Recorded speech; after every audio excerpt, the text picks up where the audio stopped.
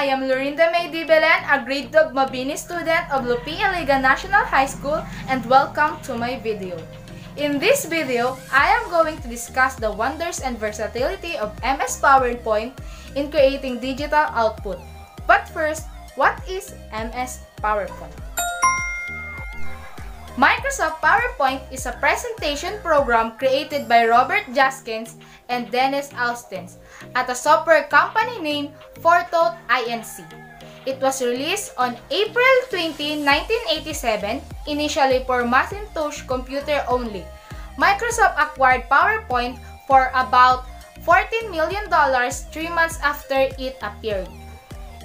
The features of Microsoft PowerPoint are adding smart art, inserting shapes, inserting an image, slide transitions, and adding animations.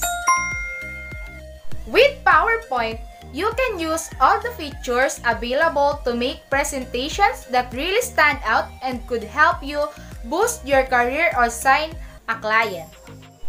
MS PowerPoint is important in creating digital output because it allows you to catch your audience attention using visual effects.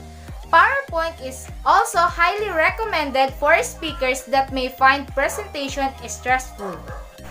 One other way that PowerPoint can be beneficial to the presenters is by using the slides as keynotes and control the flow of the presentation. And with PowerPoint, you have the power to convey thousands of words with just a few slides in your slideshow. In addition to being a powerful presentation software, PowerPoint is very versatile. You can use it to create many other types of files such as posters, infographics, videos, PDF, and more. Did you know that I was very shocked and amazed when the first time I saw digital output presentation using MS PowerPoint? I was so amazed with the visual effects and there are many twists in every slides. On the first week of our quarter 1 creative writing class, I created a digital portfolio.